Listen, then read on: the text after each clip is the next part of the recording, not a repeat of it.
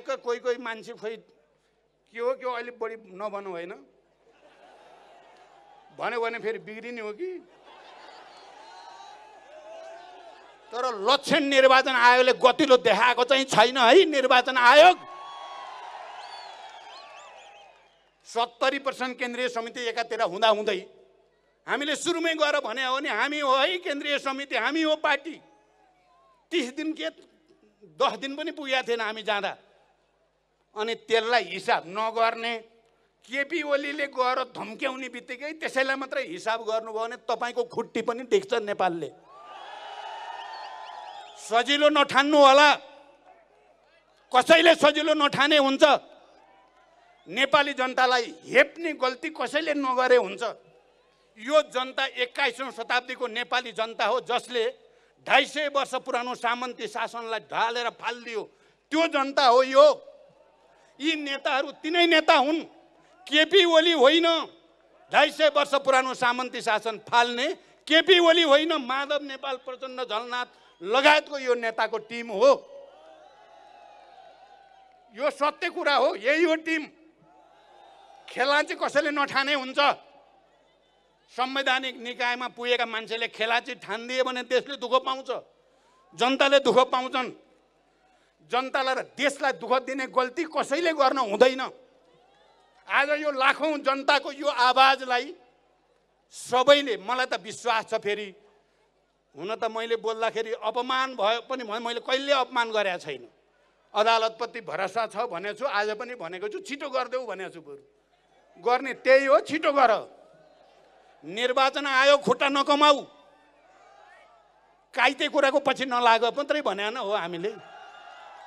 ठगी धन्दाको पछि लाग्ने निरङ्कुशताको पछि लाग्ने लोकतन्त्र मास्न खोज्ने सत्तरी वर्ष लडेर नेपाली जनताले ल्याएको लोकतन्त्रको घात गर्न खोज्ने र अझ उसैले धम्की दिने अनि जनताले सहन्छ। त्यसो भएर आदरणीय जनसमुदाय तपाईँहरू अब धेरै बेर पनि भयो आज कुराहरू पनि हामीले धेरै सुनायौँ पनि। हाम्रो सपना पनि मैले भने एउटा समृद्ध नेपाल सुखी नेपाली भनेर जे भन्न खोजेको झलनाथजीले बनाउनु भएको नारा रहेछ त्यो। हामी सबैको सपना हो त्यो।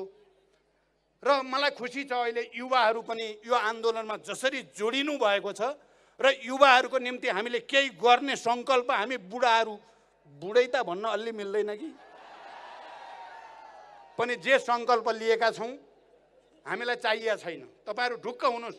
फटाहरूले कुर्सीको लागि भनिदिन्छन् अनि कहिलेकाहीँ तपाईँहरूको दिमाग पनि खै कुर्सीको लागि गरे हुन् कि? भन्ने पर्दो हो होइन।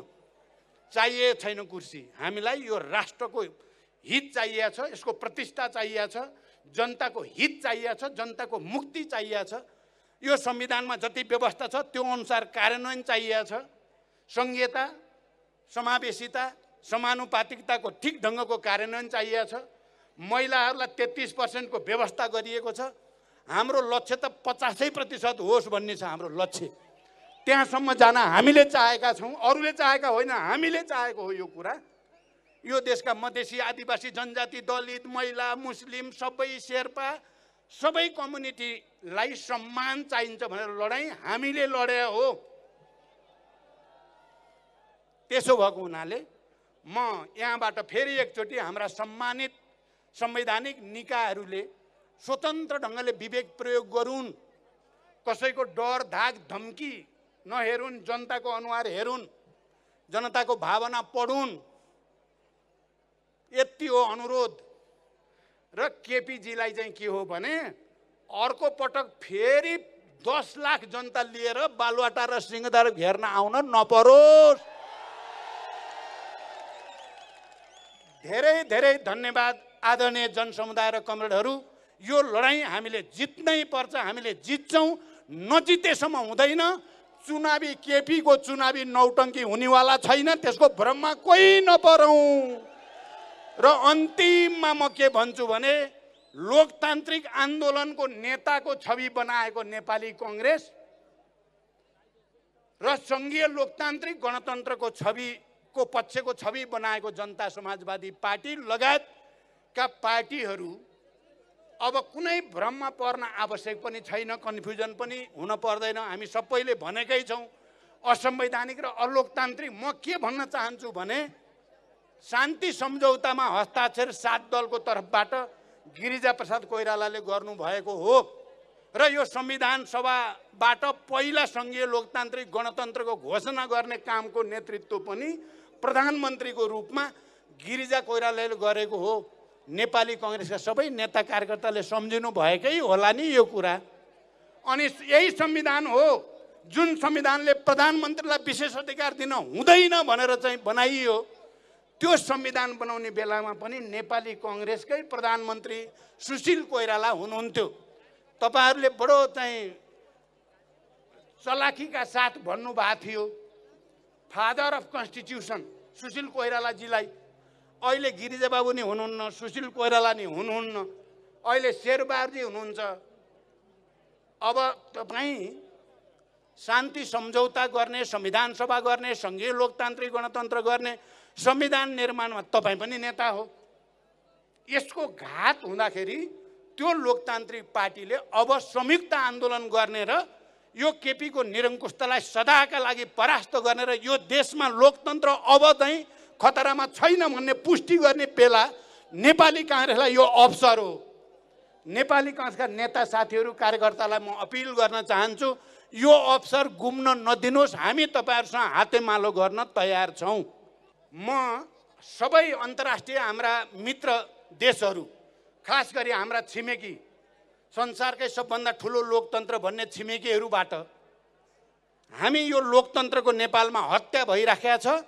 यो लोकतन्त्रको हत्या भएको बेलामा हामी सबै संसारभरिका लोकतान्त्रिक मूल्य मान्यतालाई समर्थन गर्नेहरूबाट सहयोग र सद्भाव चाहेका छौँ। दायाँ बायाँ हुने छैन भन्ने भरोसामा छौँ हामी। म यो पनि भन्न चाहन्छु। म अब अन्तिममा फेरि अन्तिम पनि दुई तिनचोटि हुन लागिसक्यो। अन्तिममा यो सभामा जुन सक्रियताको साथ जिम्मेवारीपूर्वक र विशाल पैमानामा जनसागरै काठमाडौँमा देखाइदिनु भयो त्यसको लागि पार्टीका सम्पूर्ण नेता कार्यकर्ताहरू र आदरणीय जनसमुदायलाई पार्टी केन्द्रको तर्फबाट हार्दिक बधाई धन्यवाद र सम्मान व्यक्त गर्न चाहन्छु। यो कार्यक्रमलाई सफल पार्न सहयोग गर्ने सबै सुरक्षा निकायहरू तपाईँहरू कोही भ्रममा पर्न जरुरी छैन। जनता हो राष्ट्र भनेको जनता जनभावना जनताको चेतना हो राष्ट्र। कुर्सीमा प्रधानमन्त्री बस्ने बित्तिकै राष्ट्र हुने होइन। जनता हो राष्ट्र। त्यहाँ तपाईँहरूले यो जुलुस विरोध प्रदर्शन र सभालाई संयमित अनुशासित बनाउन सहयोग गर्नुभयो म तपाईँहरूलाई पनि धन्यवाद भन्न चाहन्छु। पत्रकार साथीहरू लगातार तपाईँहरूले यसको समाचार सुरुदेखि नै जुलुसको तयारी हुने बेलादेखि नै अहिलेसम्म जसरी नथाकिकन तपाईँहरूले यसलाई सूचना सम्प्रेषण गर्नुभएको छ तपाईँहरूले आफूलाई लोकतन्त्रको पक्षमा संविधानको पक्षमा गणतन्त्रको पक्षमा उभ्याउनु भएको छ। त्यसको लागि म पत्रकार साथीहरूलाई पनि धन्यवाद दिन चाहन्छु र यो लोकतन्त्र र संविधानको पक्षमा आवाज उठाउने देशका सबै बेस्ट ब्रेन मैले भन्ने गरेको छु बेस्ट ब्रेन। नेपालका सबै राम्रा दिमागहरू सबै राम्रा दिमागहरू हाम्रो साथमा छन्। नराम्रा दिमागहरू नराम्रा दिमागहरू। म एक दुईजनाको नाम लिन चाहन्थेँ अहिले लिन्न। कति नराम्रा दिमाग। लोकतन्त्र र संविधानको पक्षमा लड्नेलाई चिडियाखानामा लाने भन्ने दिमागहरू। बुझ्नुभयो नि? ल सबै सबैलाई धन्यवाद भन्दै बिदा हुन्छु। धन्यवाद अभिवादन।